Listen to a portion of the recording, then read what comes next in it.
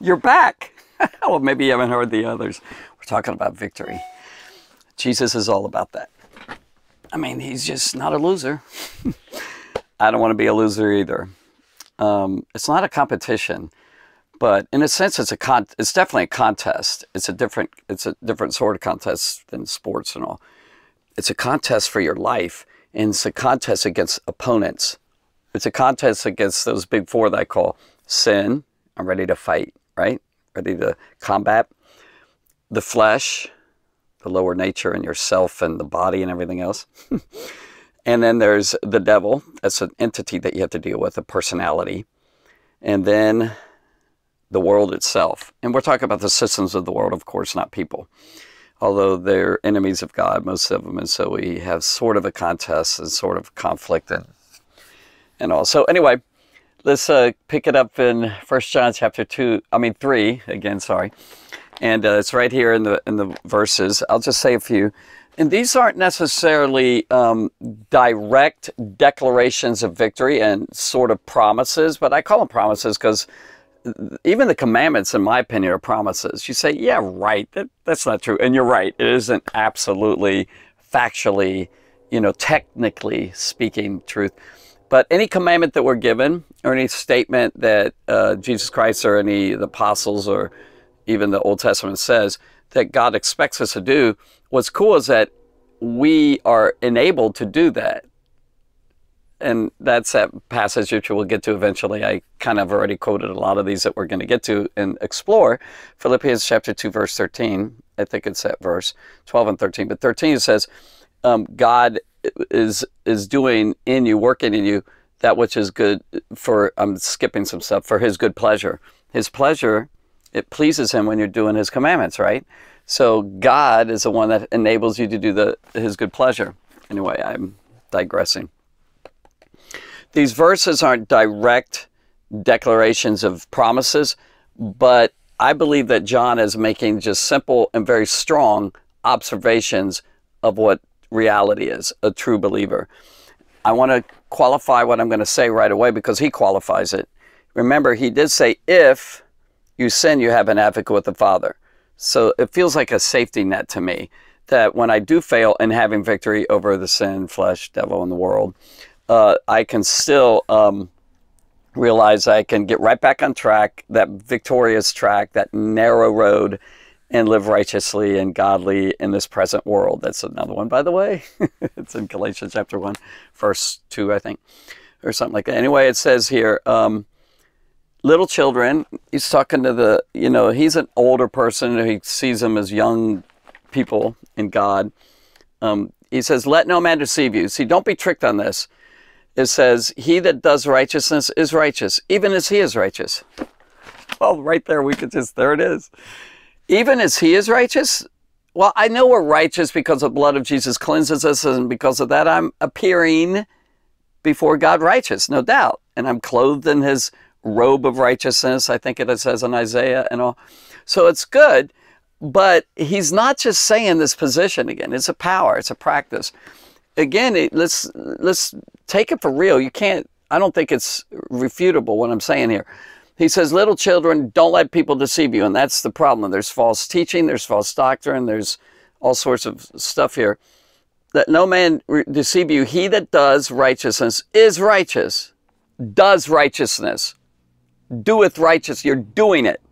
It's not just a position or you're in name declared justified and righteous before God. He that does righteousness is righteous, even as he is righteous. And who's the he? That's Jesus.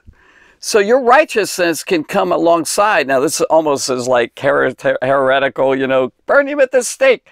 But John said you can live righteous like Jesus is righteous, even as he is righteous. You are doing righteousness even as he is righteous.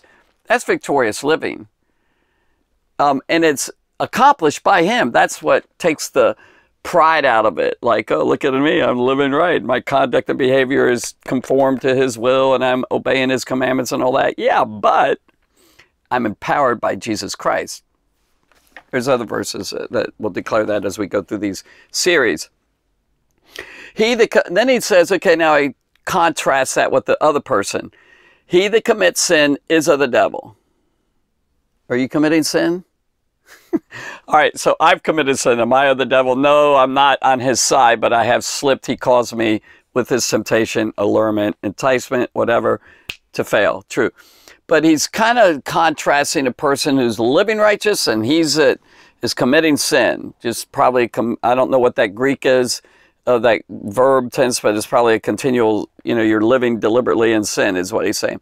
He that commits sin is of the devil. For the devil sins from the beginning. For this purpose, the Son of God was manifested. Now, here's a here's a here's a declaration of of a promise that in a declaration of what Jesus did and why he came, why he came on the earth, that he might destroy the works of the devil. What's the context? The sin life.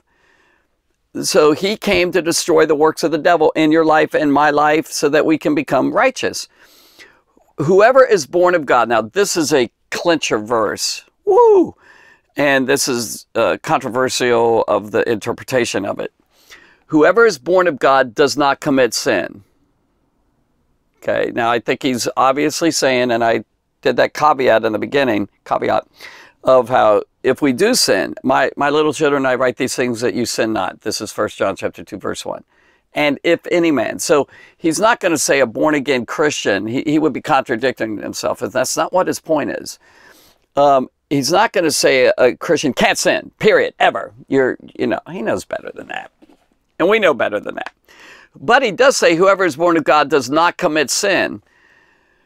For his seed remaineth in him. See, the seed of Christ comes into you, the nature of Jesus. And he cannot sin because he is born of God. He cannot. You can't, and I think if you put it all together, and I'm not trying to twist the words or interpret the words of God in John's writings here falsely. Um, but you, you just can't say that you're going to never sin. But he's, if you put it together, he's saying you're not living a life of sin thus victory. Um, and I guess we could go on. Uh, no, we'll stop there. trying to make this short. These next verses, we'll talk about those two most likely. But uh, in this, in the in the evaluation and final analysis, is that a born again Christian lives righteously, victoriously, and a born again Christian can't just continue in committing sin all the time. And a born again believer, uh, uh, by observation, is going to grow in the Lord and mature to the point where you're living like Jesus. Thus, he who had victory over sin, flesh, the devil, and the world, Jesus Christ, that happens to the believer who's following him. Hope you say amen to that. I'm going to say it. Amen.